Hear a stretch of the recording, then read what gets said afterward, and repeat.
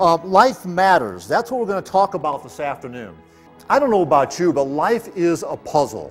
Life Matters is intentionally designed to help people value their lives. If you had to score yourself on a scale of 1 to 10, how well do you think your life is right now? If people value the kind of life they lead, they'll live their life well.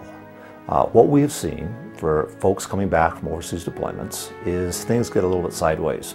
It can be a relationship, it can be an employment, it can be a variety of things. And at the end of the day, sometimes you can be left feeling like, you know it's not worth it, um, it's too much, and what I'm doing really doesn't make a difference. I would recommend And the idea of this session is to come alongside and say to folks, you know what, what you're going through is not unique to you. And so what we want to do is give you some tools and resources to live your life really well. How many of you have teenagers? How many of you make it a practice when you go home and see your teenagers to go, I love you, I've missed you, and here's a red rock from Sedona.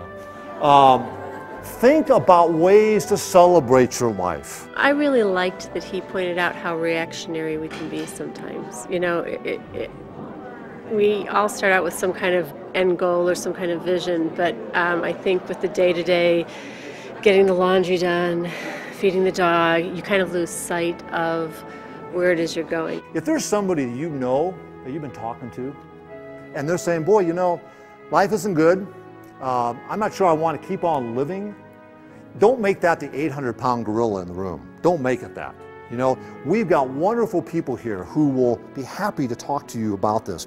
We want you to be proactive because we have a responsibility to each of us just to keep an eye on each other.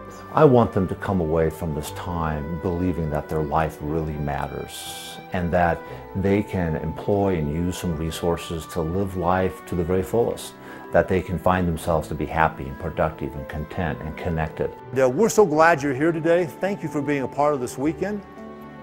Life matters. I think the beauty or the genius behind what we're doing here is I think uh, most of us probably know what we need to do, but it reinforces those things and it takes you away from your daily distractions. It reminds you. It's a lifesaver for a lot of people.